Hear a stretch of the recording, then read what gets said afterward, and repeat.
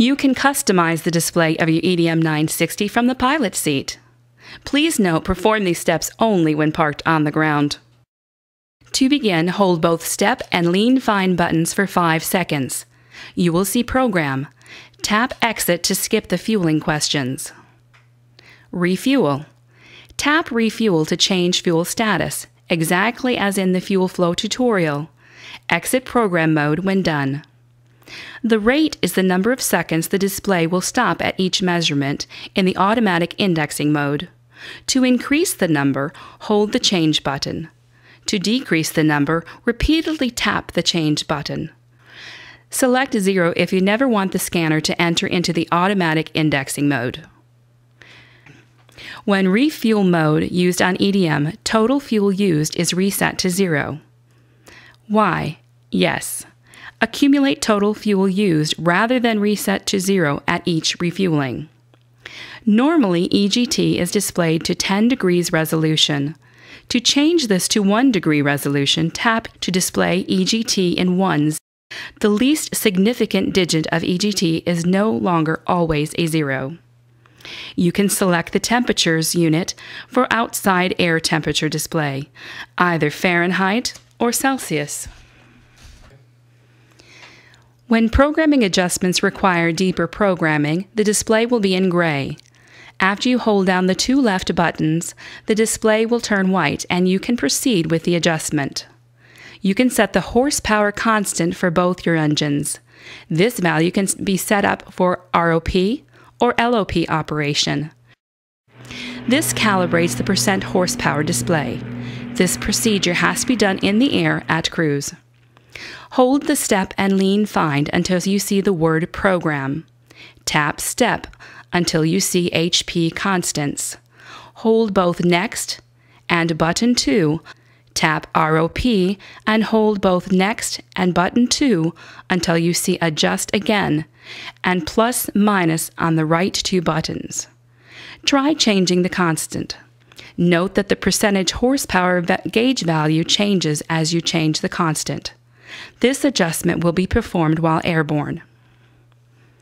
Once airborne by reference to the aircraft flight manual, set up a constant power setting of 70% in straight and level flight below 10,000 feet. Be sure your mixture is rich of peak. Adjust the HP constant until the EDM's percentage HP is as close as possible to 70%. To exit this adjustment, hold the left two buttons until you see the word Set.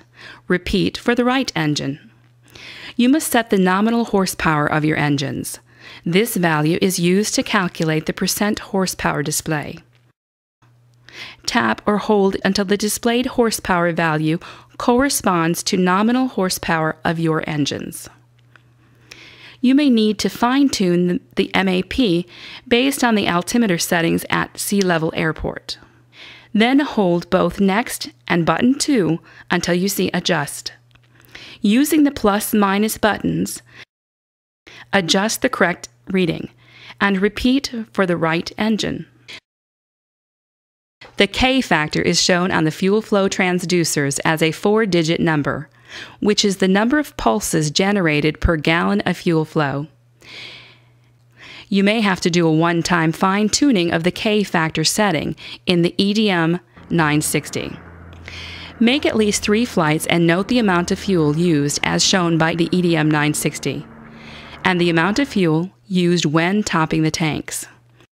In the pilot's guide, there is a table for you to enter this information.